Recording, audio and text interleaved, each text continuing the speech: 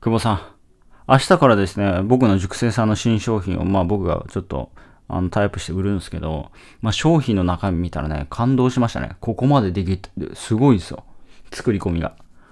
で、僕はまあ一番最初から知ってるんで、まあ、鷲津さんっていう方なんだ、なんですけども、まあね、久保さんは40歳から、まあネットビジネス始めました。で、鷲津さんっていう方は47ぐらいなんですよ。始めたのが。で、今52ぐらいなんですけどまあ、ワード、まあ、久保さんとかワードプレスとかやってないと思うんですけど、まあ、今回ワードプレスでちゃんと綺麗に作り込んでね、まあ、すげえなと思ったんですけど、だから当時なんかね、まあ、全然わかんないですよ。で、そのわかんなくてできないことができるようになったんだなっていうのは感動しましたね。だからなんだろうな、まあ、その世界チャンピオンになれみたいなね、その そういう話じゃないので、なんかその、ね、月収100万も別にその月収なんか100億円稼ぎましょうみたいな言ってるわけじゃなくてうん、まあ、麻雀店のおっさんでも前ね、3年で1億ですか？その、鷲津さんも1億いったんですけど。なんかね、まあ、その、まあ、1億と言わなくてもね、まあ、じゃあ10万にしましょうか、5万にしましょうか、3万にしましょうか？なんかその、それが稼げない、できないっていうのは、僕は、まあいろんな人を見てきてね、まあ教えるってことやって、いろんな人を見てきて、これはじゃあ、月に10万とか5万もか、もし稼げてないんだったら、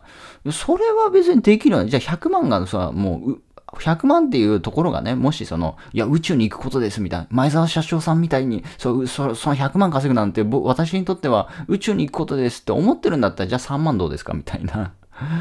うん、なんかできないことって僕はできると思うんですよ。それぐらいであるならばね。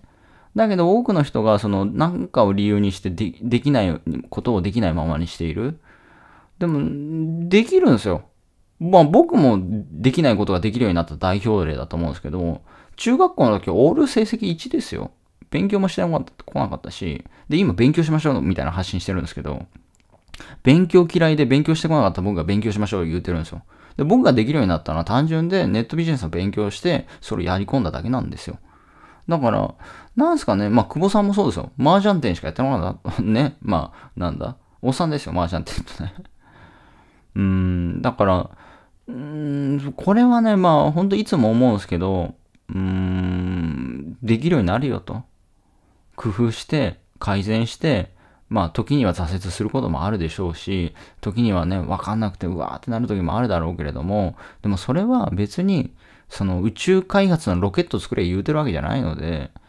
なんか到達できる、じゃあ3万どうですか？わかりました。1万円どうですかと。じゃあ1円どうですかと。じゃあそれをじゃあ1円どうやったら稼げるのかっていうのを考えてます？やってます？って話で。結局それもやってないですよね。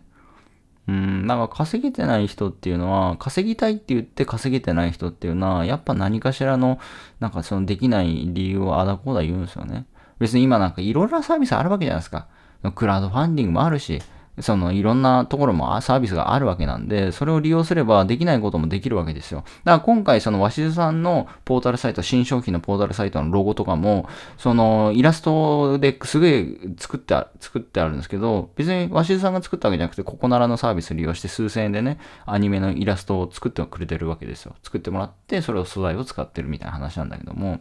できないことでもそういうサービス使えばできるし、自分が作れなくても、そういうサービス利用すれば作れるしっていう話で、だからなんか方法あるんですよ。だから今はそのインターネットが普及したことによって、まあ昔クラウドファンディングなんかなかったじゃないですか。で、今あるんですよ。お金なくてもお金集められるんですよ。やりましょうよっていうね。全部やれることやったんですか？使えるものを使い切ったんですか？っていう話で、ほとんどの人、ほとんどの人がね、やれることやりきってないし、使えるもの使い切ってないんですよ。手持ちのカードすら使ってないしね。で、手持ちのカードも使ってないのに、なんかその、あの、相手のね、カードいいな、羨ましいな、みたいな。いや、まず自分のカード使い切ろうぜっていう。手持ちのカード使い切ったんですかと。今あるサービス、今使えるもの全部やったんですかと。もうほとんどやってないですよ。いってらっしゃい。